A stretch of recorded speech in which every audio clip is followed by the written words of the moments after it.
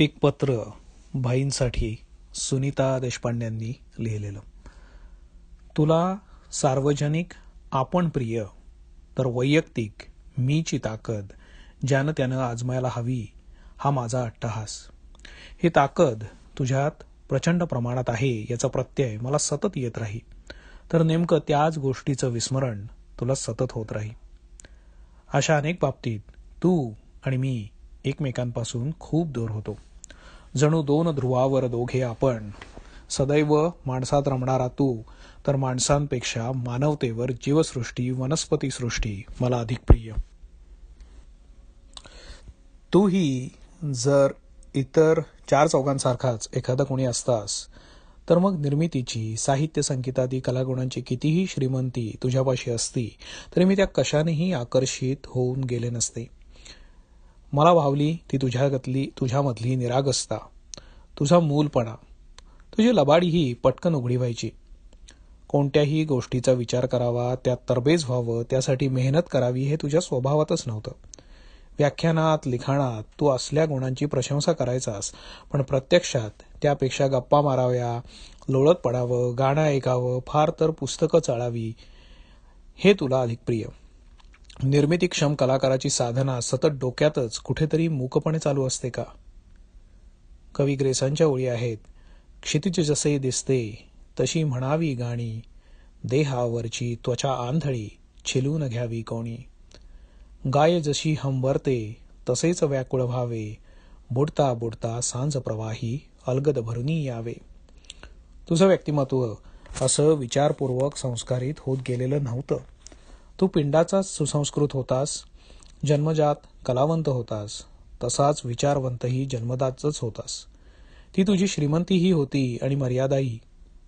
आपली संस्कृतीच पुरुष प्रधान आहे त्याच पाळामुळातून तुझं पोषण होत गेलं आणि अंगभूत कृतज्ञता बुद्धीनं आपल्या परीनं तीच संस्कृती तू जपलीस. ती तुझी सहज प्रवृत्ती होती प्रकृती होती. मराठी विश्वकोशात किंवा हुज हू मध्ये तुझ्या नावाची नोंद कलावंत म्हणून होईल तशीच विचारवंत हेही विशेषण तुझ्यासमोर लावलं जाईल.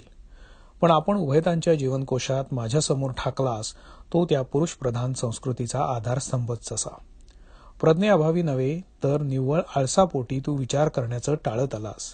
जे सहज आयतं मिळतं त्यासाठी बुद्धी कशाला शिणवावी? मनात विचार घोळवण्यापेक्षा सूर घोळवणं हे केव्हाही अधिक आनंददायी. स्वतःलाही आणि भोवतालच्यांनाही.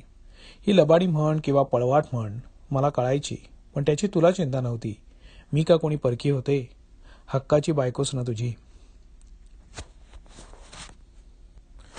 तुझ्यासाठी मी काय केलं?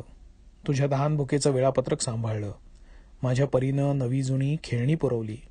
अंगण सारवून स्वच्छ ठेवत गेले त्यात फार तर फार क्वचित कधी एखादं स्वस्तिक रेखलं.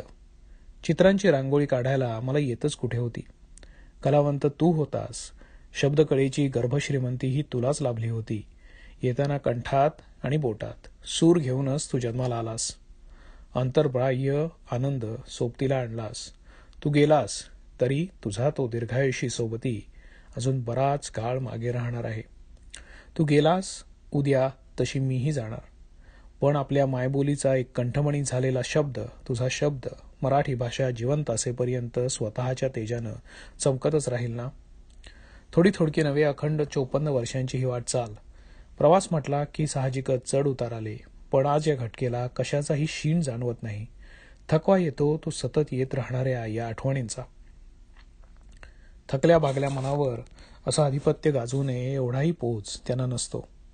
तू या सगळ्यातनं सुटलास? माझ्या मनाच्या एका बंदिस्त कोपऱ्यात कायम वास्तव्याला आलास. शांतपणे इतर सर्वांच्या नकळत माझ्या सोबतीला येऊन राहिलास. जसा खळखळ पण निर्धास्त जगलास तसाच निर्धास्तपणे चिरकाल विसाव्याला येऊन राहिलास. मला तरी आता करण्यासारखं राहिलंच काय आहे? तसा व्याप खूप आहे पसारा बराच आवरायचा आहे. तुझ्या दोन तीन नव्या पुस्तकांचंही काम व्हायचं आहे. म्हटलं तर काम भरपूर आहे पण ते ओझं मीच डोक्यावर घेतलं पाहिजे. असं थोडंच आहे. मदतीला धावून येणारे खूप स्नेही सोबती आहेत. सगळं निभावून न्यायला ते समर्थ आहेत.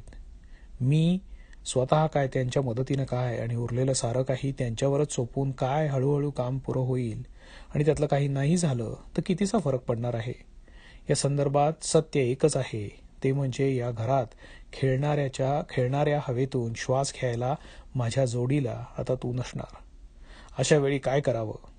मंगेश पाडगावकर म्हणतात तसं सुकलेल्या झाडाला न बोलता पाणी घालावं इतकंच.